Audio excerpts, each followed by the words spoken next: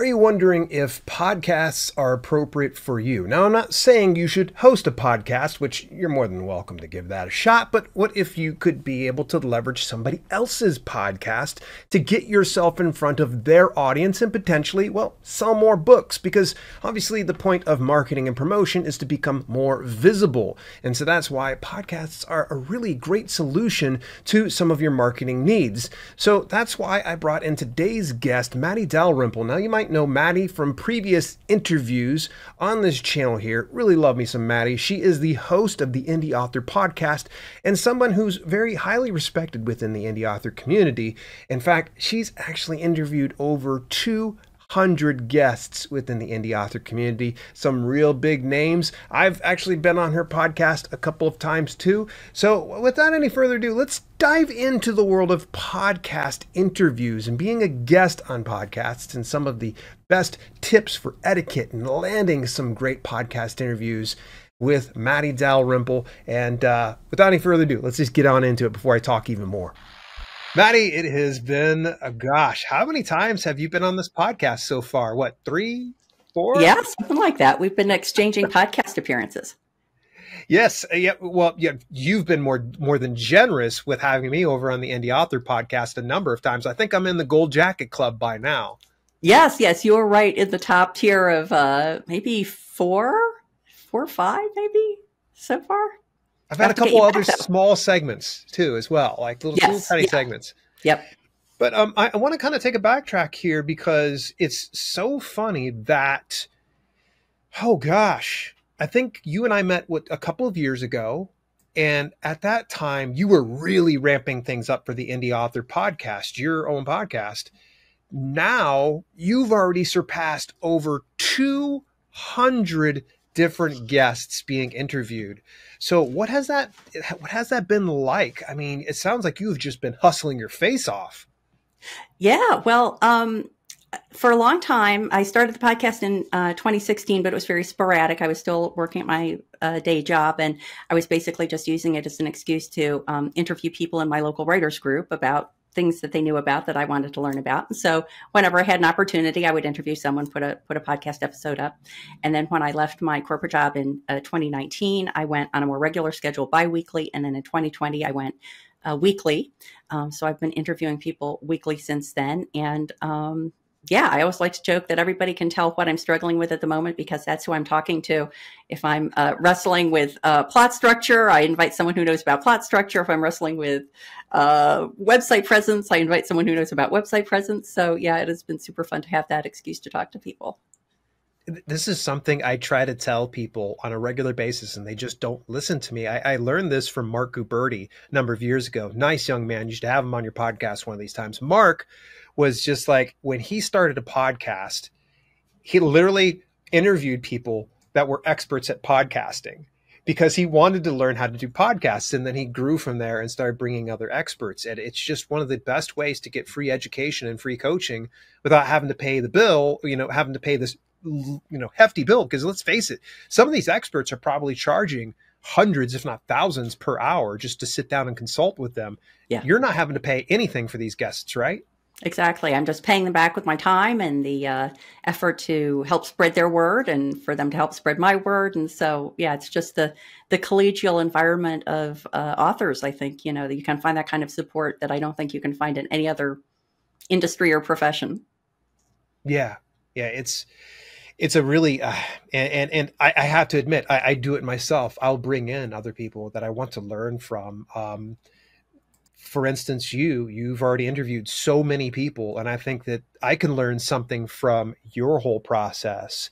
So let's take a step back, and I would love to just talk with you about some of these guests that it's a veritable all-star panel of just amazing people. And I know it's going to be hard for you to pick and choose. So I'm just going to start it off because I've heard a couple of your podcasts, and I do know mutual friend of ours, Mark Leslie Lefebvre, has been oh, a yeah. Multi-time guests. So, yeah. could you share with me some highlights in working with Mark? Any insights that you might have picked up from him in the times that he's appeared on your podcast? Well, he was featured on Landmark episode 200. I have like a note to myself that every time I hit a century mark in the uh, in the podcast um, backlist, I'm going to invite Mark to be on it because we made that be landmark episode 200. But um, yeah, I met uh, Mark first, not through my pod- podcast, but through his podcast, the Stark Reflections podcast. Great and, podcast. Um, yes, it is. And it's very different. I mean, we were talking a little bit before we started recording about kind of the different personalities of uh, the people who do podcasts or do interviews. And um, I always appreciate that Mark has such a, a thoughtful, um, contemplative, reflective, one might say, um, approach to, and, and, very positive and very encouraging.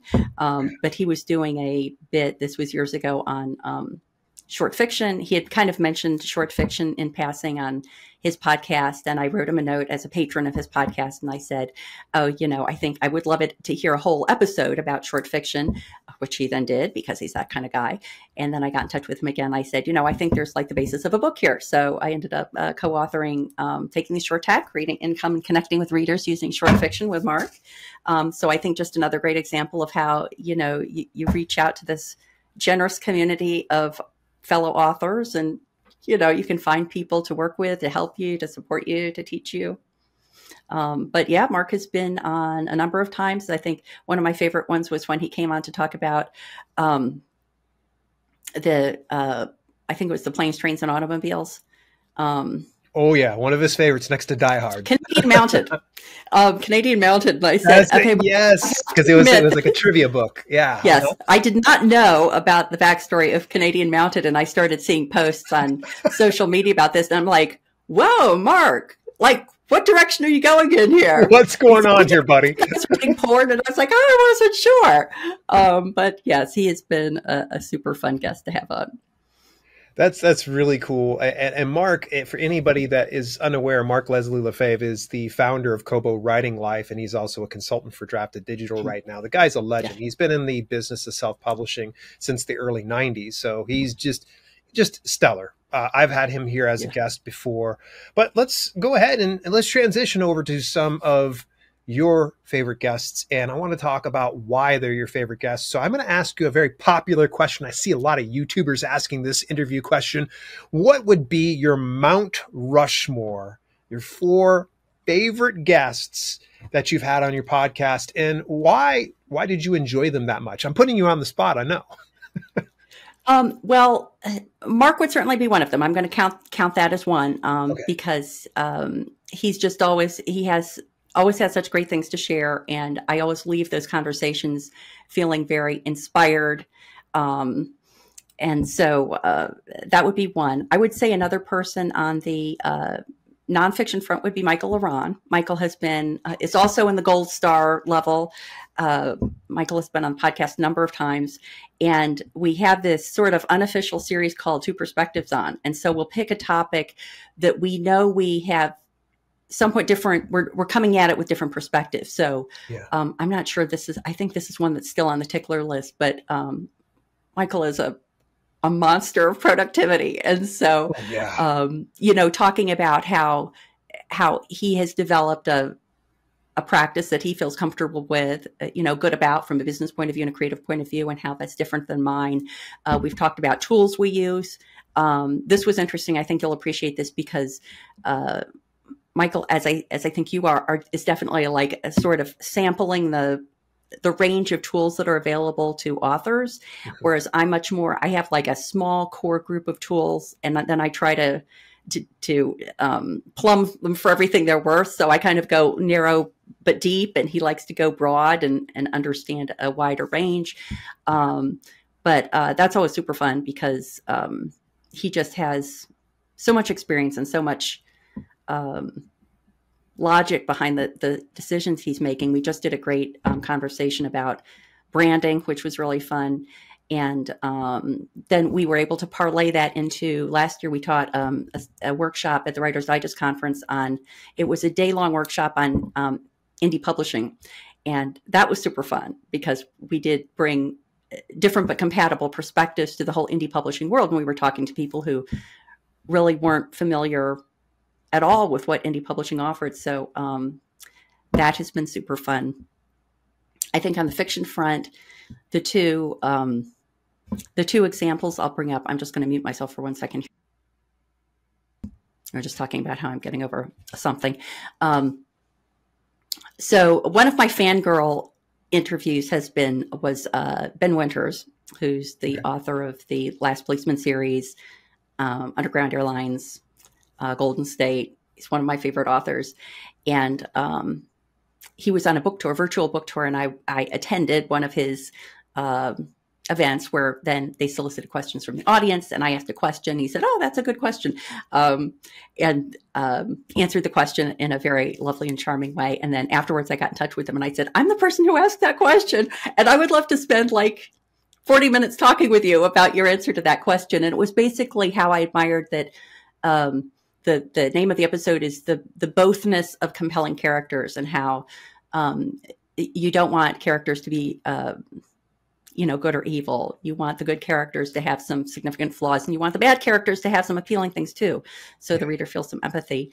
Uh, so that was a super fun conversation. And then I'd say that my fourth uh, pick uh, is another kind of fangirl um, interview, and that was with uh, Doug Dorst, who co-wrote a book with J.J. Abrams called S. And um, it is a book it's a fascinating fascinating book it's it comes in a. Um, I, I talk about it so much i should have a copy at my desk but um, it looks like a 1950s hardcover book with like the embossed cover in a slipcase and then you you take it out and open it up and it has like um, a library like library identification on the spine and on the inside there's like checkout list. And then you start paging through it and you see that there's writing in the margins. And basically, there are several simultaneous stories going on. There's the story in the book. The, the book in the slipcase is called The Ship of Theseus. Then there's the these handwritten looking, very realistically handwritten looking notes in the margins that are uh, two students who are using the book to write notes. Like they take the library book out, they write a note, they put it back in, and that story. And then there's the third story that's uh, the footnotes of the Ship of Theseus, which are ostensibly written by the translator of the book. Um, and it's just it's just fascinating. And you also find like postcards and um, there, my favorite is a map that's drawn on a napkin. It is so fantastic. It's so tactile and so physical and so uh, enthralling in the way it's presented. So yeah. um, I got in touch with Doug and I said I would love to talk to you about how this came about, and that was a super fun conversation too. Interesting. So you have these four guests, and obviously hundreds of more. So it's really hard to kind of say any one person was just the best of all time. But when you're you're selecting your guests, what's the criteria that you're looking to beyond just like I want to learn something from them? Because I know I've met many experts before, and though they're fantastic people, they're sometimes not the greatest of guests. I'm not going to name any names, and none of them have appeared on my podcast before.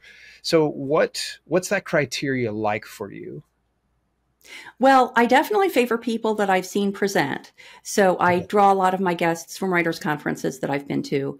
Um, if it's somebody that I haven't had an opportunity to see present, you can also often find people's, uh, you know, their presence on video or on audio, and just making sure they're they're comfortable. Yeah. Um, and I think that a key is someone who has studied a topic deeply and has experience explaining it to other people. So people who have a demonstrated expertise in explaining how to structure a story or explaining how you can most effectively use an email newsletter, explaining, you know, how different uh, wide platforms work or whatever, um, so that they're not fumbling for that uh, when when they're speaking, but also they're speaking to it in a conversational way that you're not getting kind of a rote recitation of facts that they've obviously said over and over again. Um, yeah and that they're enthusiastic about being on the podcast. You know, that um, I've started deprioritizing pitches that I get from publicists because I find that um, maybe the publicist doesn't always explain to the guest what podcast they're going to be on and then they show up and they're not quite sure what the deal was and they're like who are you? And um, so uh, personal uh, personal pitches from people or people that can connect personally with my audience. So i think that the personal aspect is kind of a, a common theme there. If someone were to reach out to you, um, and I, I would say not just you, even podcast hosts, what's the best way to approach it? Because obviously you mentioned like sometimes the publicist thing, there's a little bit of a separation there. And so it's yeah. it's not so customized or personalized for you. Whereas another author could probably reach out to you. Let's just say me, I reach out to you and I want to get on your podcast. What's the best way to approach that? Uh, do I contact you through a website? If so, what's that communication going to be like? Because I want to be able to land in someone's email inbox and potentially land an interview on your podcast. Yeah, well, I think that the, the personal aspect continues because um, if I get a pitch, well, first of all, I'm sure you can sympathize. If you get a pitch that's like, dear name and they forgot to replace name with your name or they call, they they're pitching the wrong podcast. I once got pitched for i love your podcast the career author. I was like i love the career author too but it's not my podcast. Um so that's bad. it's happened to me before. Yes. Somebody pitched me on sunny lenarduzzi's like podcast and i'm like I don't. I don't even know Sunny. She seems fantastic, but that, that's. I yeah. can't book you there. I'm flattered that you got us confused, but really, like, double check your email before you send it. yeah. um, but I think that the two things that are really attractive to me in a pitch are a demonstration that they understand, know, and understand the podcast, um, and an indication that they care about sharing something valuable with my listeners.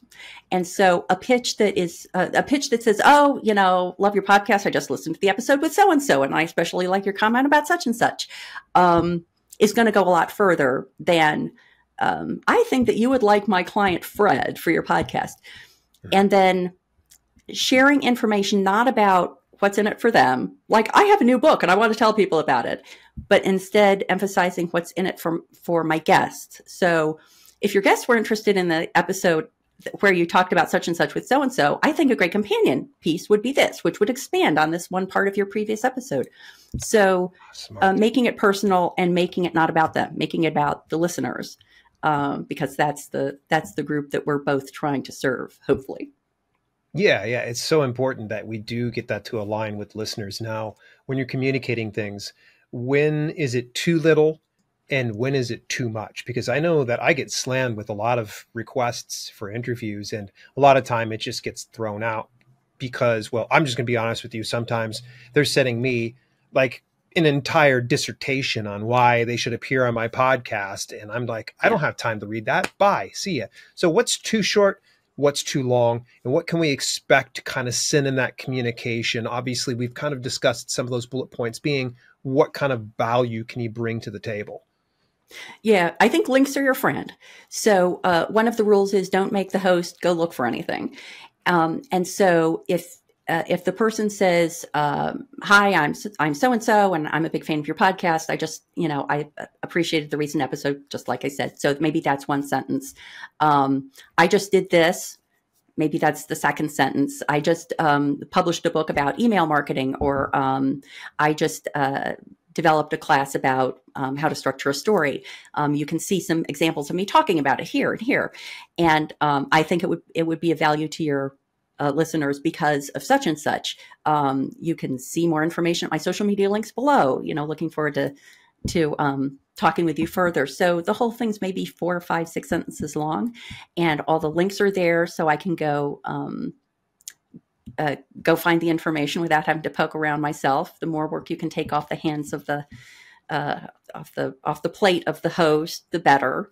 Mm-hmm. Um, and one of the stories that I like to share is uh, a guest who was pitching me for the podcast. He uh, was a new author. He had, did not have any. This would have would be his first interview, and um, so he didn't really have anything to point me to, but he recorded a video specifically for me. Um, oh, nice. Saying, you know, hi, Matty, I'm really interested in being on, on your podcast. You know, here's just like a, one minute of me talking about my topic. And I thought, this is fantastic because not only does he demonstrate that it's for me, you know, very personalized, very targeted, uh, he's and he's gone to the trouble of recording this video to illustrate his comfort on camera, his comfort behind a microphone, um, and he got a you know he got a slot, he got a show. So um, nice. The experience experience is great, but it's not necessary in order to present yourself in a professional and appealing way to a podcast host. I love this. This is great information. As we start to wrap things up, there's definitely a, a point to us kind of connecting here. And when you had informed me about your latest offering, I was like, oh, I've got to have you over on the podcast. So share with me your latest course offering that you're you're doing for podcast guesting. Is that the way I want to say it?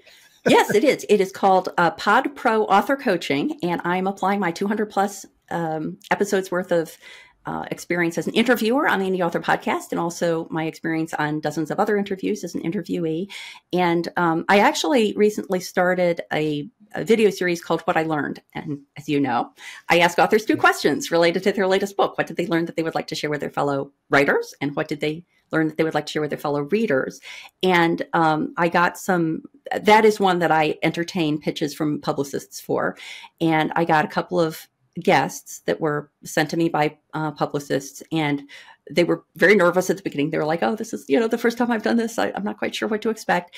And then at the end they were they were happy and comfortable. And i realized that that entree into being behind the mic being being in front of the camera is can be really intimidating on top of everything else that a newer author is trying to deal with in terms of getting word out. And so um, I wanted to combine all that experience with the fact that in my corporate life, I also um, I facilitated I'll call it a new employee orientation, and as part of that, I would often coach executives to come into the, those uh, sessions and tell stories. Um, they would tell stories about their own experience and how they applied the um, principles that, that, the attendees would learn. Um, so I have that coaching experience as well. And so it is a, um, a two part coaching offering.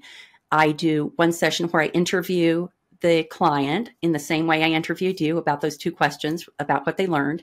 Yeah. And then we have a follow up. I then produce a, a, video that they can share on their own social media in whatever way they would like based oh, on that nice. interview. And then we have a follow up where uh, I would go over, you know, what did they do that was great that they should make sure to continue doing, and what are the areas where they can improve so that it can be even better in sharing their story uh, connecting with the audience and also connecting with the hosts because i think that oftentimes the connections and the benefits you can gain from building relationship with the host as you and i have proved is just as valuable as the connections that you can um, gain by having that connection with the audience. So uh, all those things are wrapped up in the pod pro author coaching service and people can find out more about that at theindyauthor.com and it's indie with y i-n-d-y theindyauthor.com, and it is under the services tab.